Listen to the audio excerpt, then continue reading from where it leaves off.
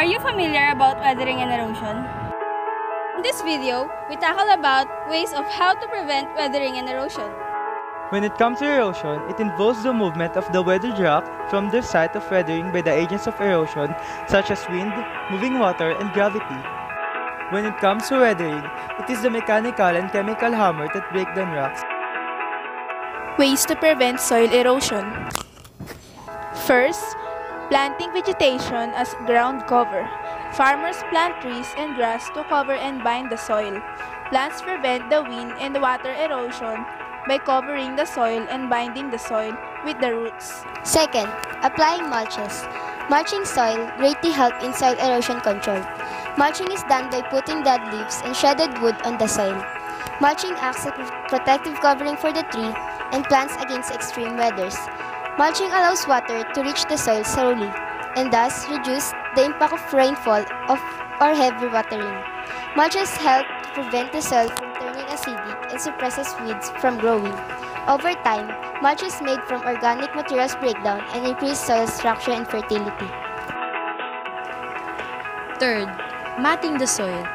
Matting is the process of covering the soil with biodegradable materials that include mulch, straw, coconut fiber, and wood chips. These are held together with biodegradable netting made from coco coir. It is like the covering of the soil with a biodegradable carpet. Biodegradable spikes are used to hold the matting material in place. Biodegradable means it can decompose or decay to turn into soil fertilizer. Plastic is non-biodegradable, that is why it is not good for the environment. Fourth, contour farming and terracing. The practice of tilling slope land along lines of consistent elevation in order to conserve rainwater and to reduce soil losses from surface erosion. Contour farming act as reservoir to catch and retain rainwater, thus permitting increased infiltration and more uniform in distribution of the water. Fifth, creation of windbreakers by planting evergreen trees around gardens or farmland to prevent the wind blowing away the soil. Windbreakers help in protecting crops from damage caused by strong and severe wind and improve plant health, quality, and yield. Crops protected from wind are able to retain significantly more moisture.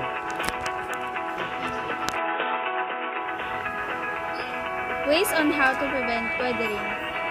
Nearly all building materials are affected by weathering.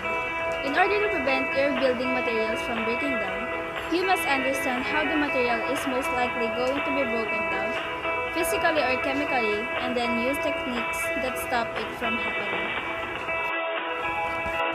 Some design solutions to combat weathering. First, carefully select and use durable materials that will withstand weathering. Second, coat materials in protective layers. Third one, shape your design to direct wind and water away from your structure. Let's all follow these preventions and do our jobs for us and others will be safe. Let's all be prepared to avoid excessive erosions and weathering. Always remember, prevention is better than cure.